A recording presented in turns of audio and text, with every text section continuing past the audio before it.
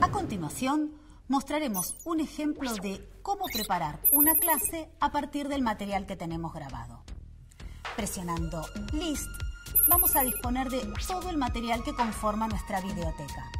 Recordemos que el material grabado se organiza en carpetas. Utilizando los botones de desplazamiento y Select, seleccionar el programa que se desea visualizar para preparar la clase. Si el programa ya fue visualizado, aparecerán las opciones Continuar o Reiniciar. A partir de ese momento, el material grabado comenzará a reproducirse. Entonces podemos manipular el contenido. Esto es pausarlo, adelantarlo, retrocederlo o detenerlo. Estas funciones realmente son muy importantes ya que desde Escuela Plus lo que promovemos es que el uso del material audiovisual sea a través de fragmentos cortos que no excedan los 5 minutos.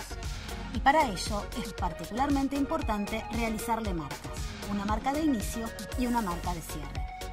Posicionarse en el minuto en que se desea se inicie el segmento. Para ello, utilizar los botones de avanzar o retroceder presionar el botón pausa y luego botón verde.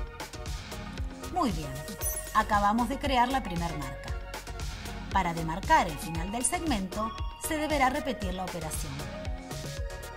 Para borrar una marca, posicionarse sobre ella y presionar el botón Dash que se encuentra ubicado en la parte inferior del control remoto. Dentro de un mismo video podemos seleccionar la cantidad de segmentos que consideremos necesarios para desarrollar nuestra clase.